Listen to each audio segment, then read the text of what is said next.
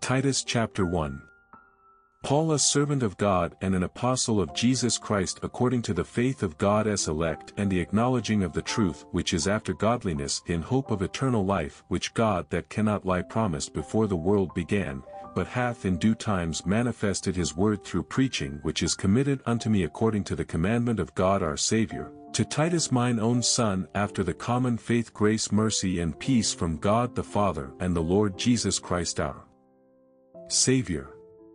For this cause left I thee in Crete that thou shouldest set in order the things that are wanting and ordain elders in every city as I had appointed thee if any be blameless the husband of one wife having faithful children not accused of riot or unruly. For a bishop must be blameless as the steward of God, not self-willed not soon angry not given to wine no striker not given to filthy lucre, but a lover of hospitality a lover of good men sober just holy temperate, holding fast the faithful word as he hath been taught that he may be able by sound doctrine both to exhort and to convince the gainsayers. For there are many unruly and vain talkers and deceivers specially they of the circumcision whose mouths must be stopped who subvert whole houses teaching things which they ought not for filthy lucre's sake.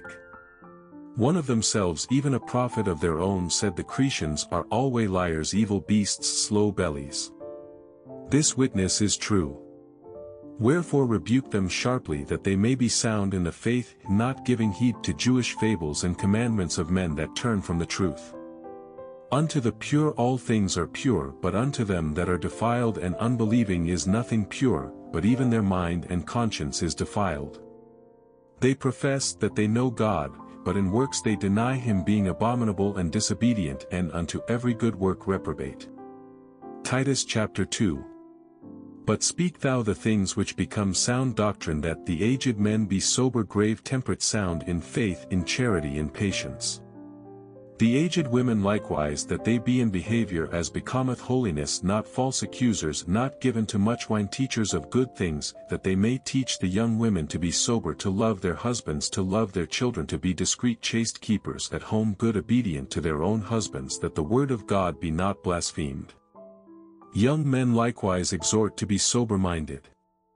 In all things shewing thyself a pattern of good works in doctrine shewing uncorruptness gravity sincerity sound speech that cannot be condemned that he that is of the contrary part may be ashamed having no evil thing to say of you. Exhort servants to be obedient unto their own masters and to please them well in all things, not answering again, not purloining but shewing all good fidelity, that they may adorn the doctrine of God our Saviour in all things. For the grace of God that bringeth salvation hath appeared to all men teaching us that denying ungodliness and worldly lusts we should live soberly righteously and godly in this present world, looking for that blessed hope and the glorious appearing of the great God and our Saviour Jesus Christ, who gave himself for us that he might redeem us from all iniquity and purify unto himself a peculiar people zealous of good works. These things speak and exhort and rebuke with all authority. Let no man despise thee. Titus chapter 3 Put them in mind to be subject to principalities and powers to obey magistrates to be ready to every good work to speak evil of no man to be no brawlers but gentle shewing all meekness unto all men. For we ourselves also were sometimes foolish disobedient deceived serving diverse lusts and pleasures living in malice and envy hateful and hating one another. But after that the kindness and love of God our Saviour toward man appeared not by works of righteousness which we have done but according to his mercy he saved us by the washing of regeneration and renewing of the Holy Ghost, which he shed on us abundantly through Jesus Christ our Saviour, that being justified by his grace we should be made heirs according to the hope of eternal life. This is a faithful saying and these things I will that thou affirm constantly that they which have believed in God might be careful to maintain good works.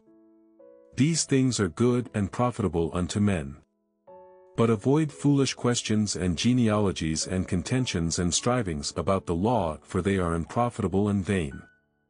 A man that is an heretic after the first and second admonition reject knowing that he that is such is subverted and sinneth being condemned of himself. When I shall send Artemas unto thee or Tychicus be diligent to come unto me to Nicopolis for I have determined there to winter. Bring Zenas the lawyer and Apollos on their journey diligently that nothing be wanting unto them. And let our S also learn to maintain good works for necessary uses that they be not unfruitful. All that are with me salute thee. Greet them that love us in the faith. Grace be with you all. Amen.